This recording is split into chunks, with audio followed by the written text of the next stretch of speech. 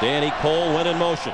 Ryan Williams for a yard, and that's all. Rico McCoy, the leading tackler for Tennessee, with his 113th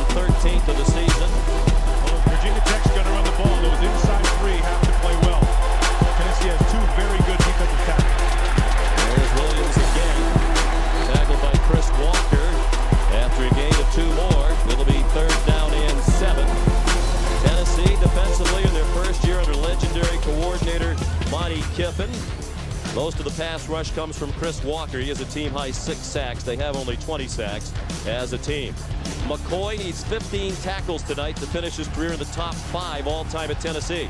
He said that's a major goal tonight, and it's likely the last game of his career for Eric Berry, the junior, from nearby Fairburn, Georgia, suburban Atlanta. Team leading sixth interception of the season.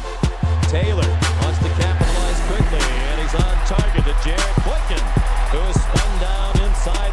25 by Rico McCoy. Had a terrific senior season, played his way into a high NFL draft pick, and Ryan Williams bounces ahead for a couple. Rico McCoy in there again, so he's off to a good start in his quest for those 15 tackles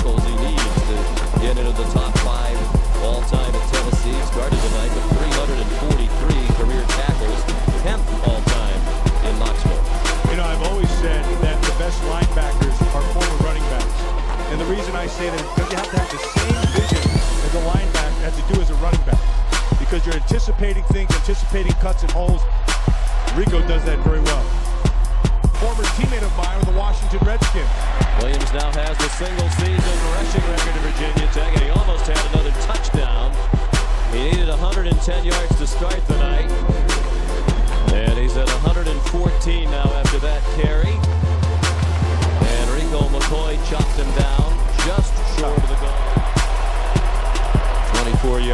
pitching for Tyrod Taylor tonight. Pressured, in trouble in the pocket, and the ball. And Taylor taken to the ground by Rico McCoy and Dan Williams. Tyrod managed to hang on, but it's a sack. And a loss of nine back at the 40-yard line. The timeout called by Virginia Tech.